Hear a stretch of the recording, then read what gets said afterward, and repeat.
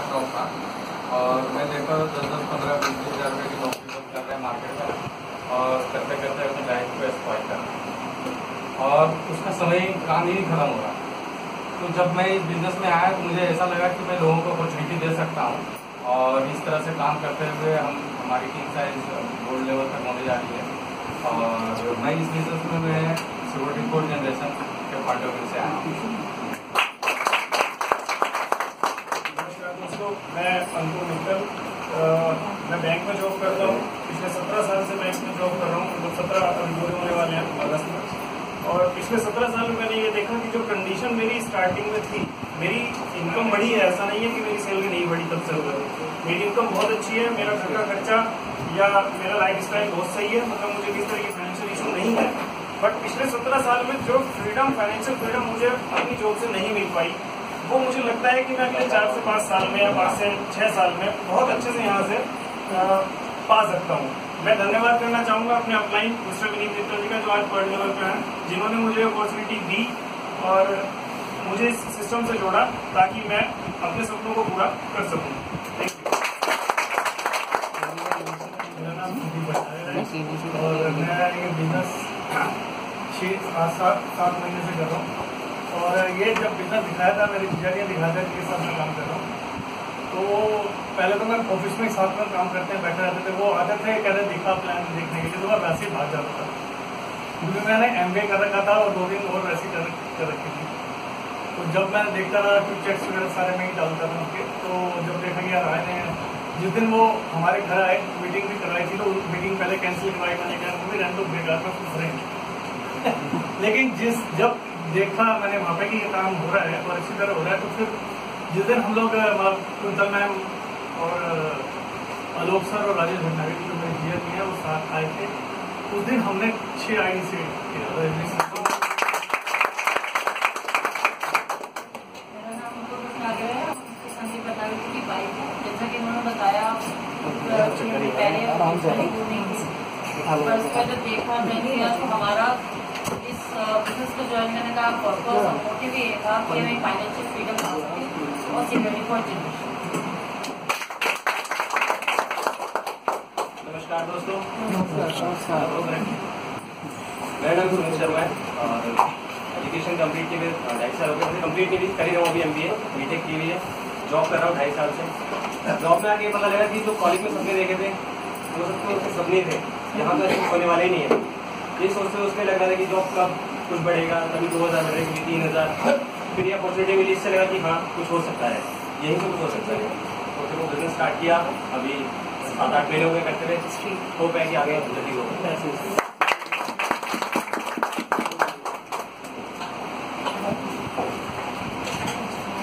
आपने सभी silver leader को सुना अभी। और मैं चाहता हूँ हमारे सारे सिल्वर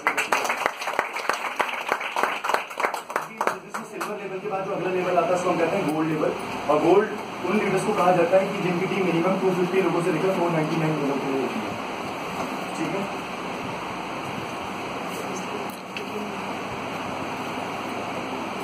टू फिफ्टी से लेकर फोर नाइन्टी नाइन की जो टीम होती है, वो गोल्ड लेवल की होती है। जब व्यक्ति इस शुरुआत करता है एक से दो को जोड़ता धीरे धीरे करके वो सोचता है कि पहला लेवल अचीव करूँ तो सिल्वर बने।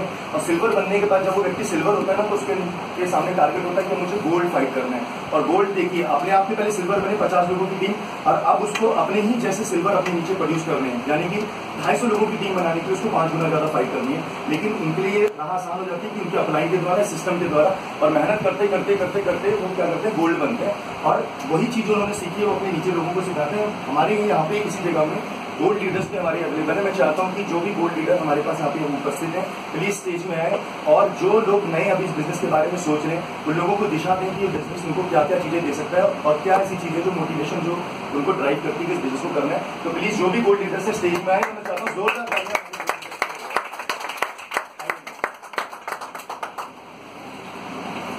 नमस्कार दोस्तों। नमस्कार। नमस्कार दोस्तों। नमस्कार। एक सौ पेड़वाइया की आवाज़ है ही जैसे कि बताया इन्होंने मेरा नाम मीना सिंह है। मैं बेसिकली गोरखपुर से रहने वाली हूँ और इस बिज़नेस को करते हुए मुझे अभी एक साल के लगभग हुआ है। एक साल पूरा हुआ है कंप्लीट हुआ है और एक साल करते करते आज मेरी टीम तीन सौ एक लोगों की हो चुकी है। सबसे बड़ी बात है बिज़नेस करे क्यों? क्यों करें और क्यों टीम बनाए? एक आए हुए हैं जिनके बारे में मैं बताना चाहूँगी आपको।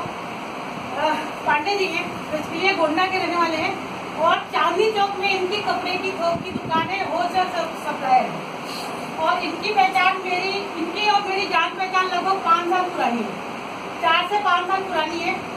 और इनको मैंने एक साल से बा, बात कर रही हूँ कि करे करे करे करे करे और ये हमेशा कहते कुछ नहीं होता तू मत पड़ इस चक्कर में तू मेरे साथ चांदी चौक में काम करेगी मैंने कहा, ठीक है, चलते रहे चलते रहे।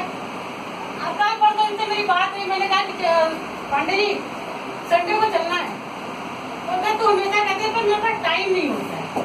और आज रास्ते में इन्होंने बताया कि एक जगह से इन्होंने कपड़ा उठाया था किसी की गारंटी से और 25 लाख रुपए का नुकसान इनको एक मिनट में वो बंदा पेमेंट नहीं दिया, जो पेमेंट इनके अकाउंट से ट्रांसफ़र हुआ। मैं इनसे एक ही चीज़ पूछना चाहती हूँ कि मुझे इसके लिए बहुत कहते हैं कि नहीं होता लोग नहीं ज्वाइन करते लोग तरह तरह की बातें करते हैं। क्या वो 25 लाख रुपया और ये दस हज़ार रुपया दोनों में क्या कंपेयर है कि जो यहाँ पे बैठे हुए शख्स को मिल रहा है और इनको नहीं मिल रहा है वो है टाइम आज मैं यहाँ आई हूँ मुझे कोई टेंशन नहीं। मैं काम करूँ ना करूँ आज मुझे कहते हो खुशी हो रही है कि एक साल में एक साल पहले इस, इस रास्ते पर मैं अकेले चली। कोई नहीं था। मैं भी कहती थी, कोई ज्वाइन नहीं करेगा। सर से रोज लड़ती सर क्यों मुझे करा रहे हो? मेरे पास ना लोग हैं। और ना मेरी कोई ये है, क्योंकि इस बिज़नेस में आने से पहले, पाँच साल पहले पांडे जी बहुत अच्छी तरह जानते हैं और बहुत से लोग मुझे जानते हैं इस बात को, कि मेरे साथ मेरी ज़िंदगी बहुत अच्छे से चल रही थी। और तब मुझे इतना पैसे की कोई प्रॉब्लम नहीं थी। एक नॉर्मल जो आम आम औरतों को चाहिए, सब मुझे मिल रहा था। और मैं भी ज़िंदगी को ना मज़ाक समझ रही थी कि कुछ नहीं होगा बुरा हमने किसी के साथ बुरा नहीं किया है तो हमारे साथ भी नहीं होगा। और तेईस अक्टूबर 2013 को रात को एक एक्सीडेंट होता है मेरे हस्बैंड की और ऑन स्पॉट के दुनिया से चले जाती है। उसके बाद पता चलता है कि सिक्योरिटी क्या होती है। क्योंकि जब अच्छे दिन चल रहे होते ना तो सब अपने होते हैं। सब अपने होते हैं। लेकिन जैसे ही आपका बुरा दिन आप शुरू होता है सबसे पहले अगर कोई साथ छोड़ता है तो आपकी परछाई साथ छोड़ती है वो होते हैं अपने। वहाँ से मुझे ज़िंदगी देखने और सीखने का नज़रिया बदल गया। कि नहीं, अब मुझे करना है। क्योंकि ये बिज़नेस देखने का मौका मुझे पाँच, छह साल पहले भी मिला। लेकिन मैंने सीरियस नहीं लिया जैसे आम लोग नहीं लेते, मैंने भी नहीं लिया और उसके बाद लोग कहते हैं ना, लोग लोगों के पास फॉलो करते हैं प्लान करते हैं ज्वाइन कराने के लिए।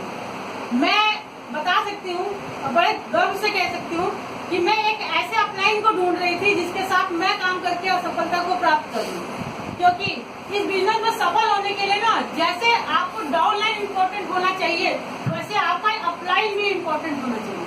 कि जो वाकई डेलिकेटेड हो, क्योंकि मैंने नेटवर्क मार्केटिंग में बहुत देखा था, लोग ज्वाइन करते हैं, दो चार लोग को ज्वाइन कराते हैं, फिर बिज़नेस से अपने ही गायब हो जाता है, वो डाउन लाइन को क्या संभालेंगे? और कहते हैं ना, जिस चीज़ की चाहत होती है भगवान को कहीं ना कहीं से मिलाता है। अगर दिल से चाहेंगे तो चीज़ मिलेगी। ये शाहरुख खान का डायलॉग बिल्कुल सही है। मुझे भी इस बिज़नेस को, मैं चाहती थी कि मुझे एक ऐसा अपलाइन मिले, जिसके साथ मैं काम कर सकूँ, जो मुझे समझ सके, जहाँ मुझे सपोर्ट कर सके। और एक फैमिली हो। मुझे भगवान की दया से एक नहीं चार चार अपलाइन मिले। जिसमें से Krishna sir JP sir, Mangal sir और संजय सर। ये मेरे आज के डेट में मेरी फैमिली का सबसे बड़ा हिस्सा बिज़नेस को करती गई करती गई। आज मुझे बड़ी खुशी हो रही थी कि मेरे टीम से तीन सिल्वर यहाँ खड़े होकर के अपनी बारे में बताने, बता रहे थे। और अभी तीन सिल्वर भी मेरे घर पे उनको किसी भी कारण बस आने का मौका नहीं मिला। और बहुत जल्दी चौदह अगस्त 2017 को अपना वन लेवल कंप्लीट करने में मेरा साथ देंगे। क्योंकि जितनी ज़रूरत जितनी खुशी जितनी खुशी मुझे कि मुझे अपना 14 अगस्त तक वन लेवल कंप्लीट करना है। उससे ज़्यादा ये लोग मुझे जैसे मेरे डाउनलाइन मेरे परिवार का एक सदस्य, संतोष जी, जिसको बारे में आपने देखा, दीपक जी, सुमित जी, इन लोगों को मुझसे ज़्यादा इन लोगों को होती कि मैम, हम अपना सिल्वर करेंगे, आप टेंशन ये किस बिज़नेस में मिलेगा? आपके बिज़नेस में क्या कोई दुकानदार जिसको आपने सिखाया समझाया आगे बढ़ाया वो आके कहता है कि पांडे जी आपकी दुकान बढ़ाने में मेरा साथ दूँगा आप आज हो आज आप एक लाख रुपए कमाते हो। कल मैं इतनी मेहनत करूँगा कि आप दो लाख रुपए हफ़्ता कमा ले महीने कमा लो।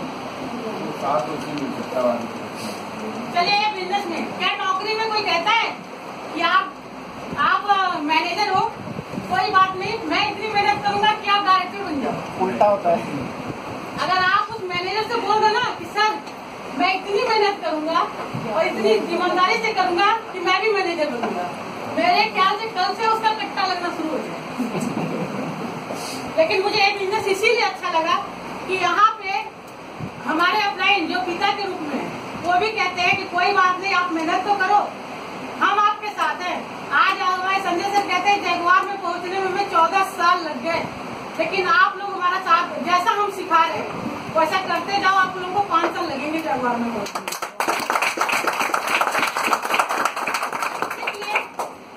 सिक्योरिटी सिक्योरिटी के माध्यम से बिज़नेस मुझे बहुत अच्छा लगा।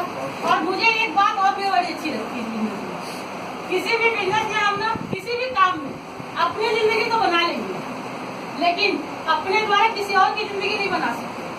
लेकिन आज मुझे कहते हुए बड़ा अच्छा लगता है कल दीपक जी हमारे भाई हैं। लेकिन इनसे मैं जब भी मिलती थी, ये आधा ध्यान इंस्टीट्यूट में रहते थे और आधा ध्यान मेरे से तो बात ही नहीं करते मैंने इनको एक बार एक बार नहीं, दस बार समझाया दीपक, कब तक? कब तक आप पूरा ध्यान अपने इंस्टीट्यूट में लगाओगे? ना आपके काम से कौन खुश है? आपकी फैमिली खुश नहीं है क्योंकि उन्हें टाइम नहीं देते। आपके स्टूडेंट खुश नहीं है क्योंकि आप दोनों कमरों में भागते रहते हो। आप खुद भी खुश नहीं हो। कब तक। मेरी ये बात इनको पसंद है इन्होंने ज्वाइन किया। तो अगर मैं इनको आगे बढ़ाने में साथ दे रही हूँ तो कल को ये कहीं भी रहें। इनकी भी टीम बन जाएगी, ये भी गोल्ड वर्ल्ड डायमंड बनेंगे। अगर मैं दुनिया में भी ना रहूँगी तो कम से कम ये मेरे को याद तो करेंगे। इसलिए बिज़नेस मुझे अच्छा लगा। यहाँ अपने के साथ साथ दूसरों की ज़िंदगी बदली जा सकती है लेकिन बदलेगा वही जो डिसीज़न लेगा। डिसीज़न दूसरे कल कल को छोड़ेगा। डिसीज़न लेने के साथ साथ सिस्टम पे आएगा। धन्यवाद मैं अपनी बात नहीं देखिए हम जब बिज़नेस प्लान को देखते हैं तो हम समझते हैं कि सिक्योरिटी पर जनरेशन प्लीज़ थोड़ा सा दो मिनट और कॉपरेट करिए। सिक्योरिटी पर जनरेशन है? श्याम सुंदर जी का। मैम ने लाइव एग्जांपल अपना दिखाया। कि जीवन की गाड़ी आज तो चल रही है। आज तक हमें पता चलता है, जब हम कार में जा रहे हैं ना तो स्टेपनी की वैल्यू क्या है? जब गाड़ी स्मूथ चल रही है तो नहीं पता चलता स्टेपनी की वैल्यू जब गाड़ी पंचर होती है ना, तब पता चलता है स्टेपनी की वैल्यू तो ये बिज़नेस आपके लिए वो स्टेपनी नहीं है, बल्कि वो कार है जो आपके सारे सपनों को पूरा कर सकती है, आपको सफलता तक पहुँचा सकती है। मैं चाहता हूँ कि मैं प्लीज़ जोरदार करें। गोल्ड के बाद जो अगला लेवल आता है, उसको हम कहते हैं पर्ल लेवल पर्ल इस बिज़नेस में वो लेवल पे जहाँ पे की जो टीम होती है वो आपकी 500 लोगों की टीम हो जाती है। 500 से लेकर up to one two four nine बारह सौ उनचास लोगों तक का जो आप टीम साइज़ को हैंडल करते हैं, उस लीडर को हम कहते हैं पर्ल और जो लोग पर लीडर होते हैं, उनकी टीम में गोल्ड्स भी होते हैं, बहुत सारे सिल्वर्स भी होते हैं यहाँ पे धीरे धीरे उनका रोल चेंज हो जाता है लीडरशिप की क्वालिटी उनके अंदर डेवलप होने लग जाती है। और हमारे सामने ऐसे पर लीडर जो उपस्थित है, इसी सेमिनार में भाग्यशाली हैं। मैं उनके बारे में बताना चाहता हूँ कि पहले हमारे पर लीडर जिनका नाम है मिस्टर विनीत मित्तल जी। विनीत मित्तल जी के बारे में बताना चाहता हूँ कि उन्होंने इस बिज़नेस शुरुआत करी धीरे धीरे करते करते सिल्वर बने गोल्ड बने पर्ल बने। आज बहुत सारे सिल्वर्स उनकी टीम में है गोल्ड उनकी टीम में है। और जब हम कोई व्यक्ति जॉब कर रहा होता है ना तो सोचता है कि बहुत अच्छी बहुत अच्छी जॉब में कोई, में अच्छी कंपनी मुझे मिल जाए। कोई ब्रांडेड कंपनी मिल जाए तो आज वो एस कंपनी में सर, बहुत अच्छे से जॉब